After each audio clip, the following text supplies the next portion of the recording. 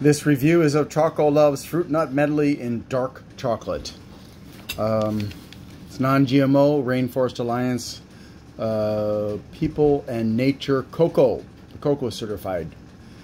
Uh, it's also Parve, so in that respect it's safe for Jews. Made with Belgian chocolate. Ooh. Chocolate is chocolate. It's all about however you can make it taste really good or not.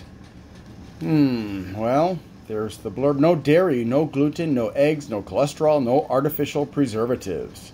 Hooray! So, nutrition facts. One third. okay, let's do the bar, right?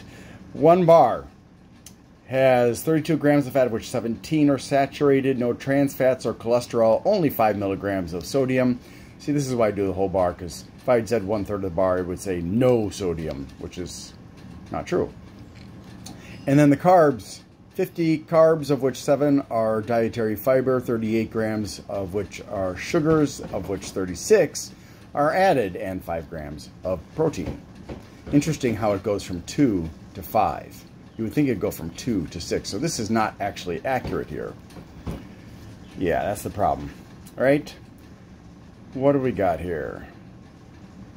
Let's see, there's sugar and invert sugar and sugar. Sorry, I'm laughing because of oh, no, oh more sugar and um, rice flour. Yeah, so a tapioca syrup, so several forms of sugar. Uh, I'm not sure about the tapioca sugar uh, syrup, but the uh, invert sugar definitely has a lot of fructose in it, as does the regular sugar. So not good for your um, liver. Let's give it a try.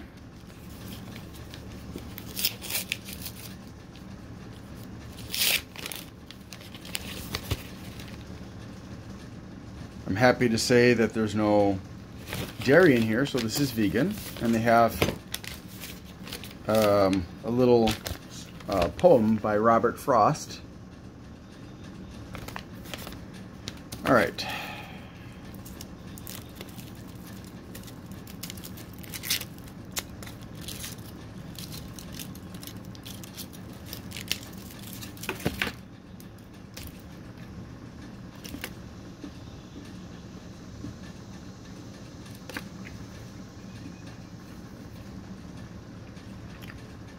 Okay.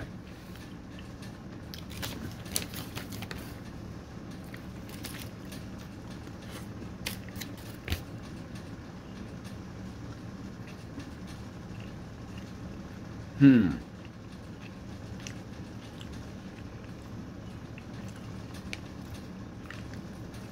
Well,